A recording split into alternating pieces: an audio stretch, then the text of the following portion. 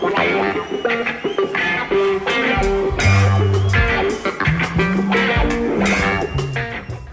shit is whack, man. Those dudes are knuckleheads. Like, just a bunch of Guidos, like, acting stupid drunk all They get, like, paid to be drunk every day.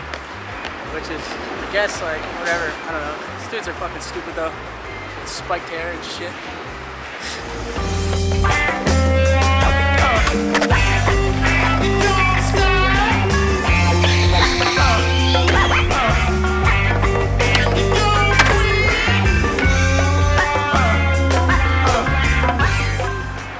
don't want to go in the hood at night.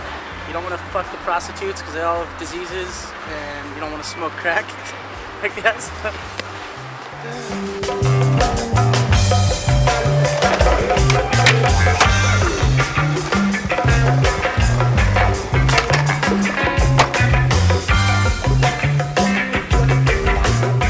What I like about Krux is they break in like super fast. Like the first day I put them on, I feel like they're already broken in. Like there's like no like you don't need to break them in at all. They're just like good to go.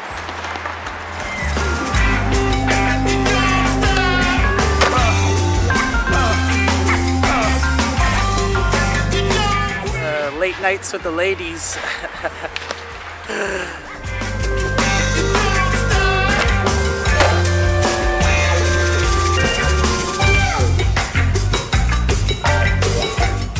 Yeah, man, it got me.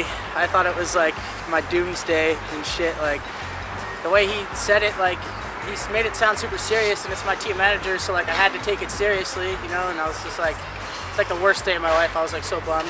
I almost wanted to cry, dude. I was like, fuck, fuckers.